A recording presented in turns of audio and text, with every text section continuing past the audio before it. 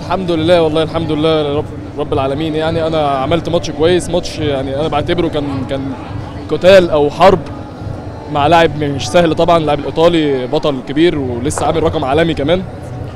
وأنا كان نفسي إن أنا أفوز يعني ودخلت المحاولة اللي أفوز بيها ومسكت بيها لآخر لحظة. لكن ما كانش في توفيق والحمد لله يعني قدر الله ما شاء فعل. كنت بكيت وذرفت الدموع. هل هي دموع الفرح بالفضية أم دموع خسارة ميدالية ذهبية؟ لا دموع خسارة طبعا لأن يعني كان كانت محاولة إن أنا أكسب أكسب يعتبر أفضل لاعب في العالم. فمحاولة مهمة جدا وكان كان ليا يعني يعني إنجاز كبير بالنسبة لي يعني إن أنا أخش ماتش مع لاعب زي ده بطل كبير وإن أقدر إن أكسبه كمان. ده بالنسبة لي إنجاز كبير يعني. الجزائر طبعا أنا يعني والله أنا حاسس إن أنا موجود في مصر بلعب في مصر. مش في دولة أجنبية يعني الجمهور كان بيشجعني. ناس كتير كنت وأنا داخل المحاولات بيشجعوني. وبيدعموني يعني. ويعني شكرا الجزائر شكرا الجزائر كإقامة وكاستقبال وكشعب. ناس جميلة جدا ويعني وكمان بيتعاملوا معانا مش كأننا أجانب ولا غرب كأننا أخوات وكلنا أخوات وكأني في بلدي يعني.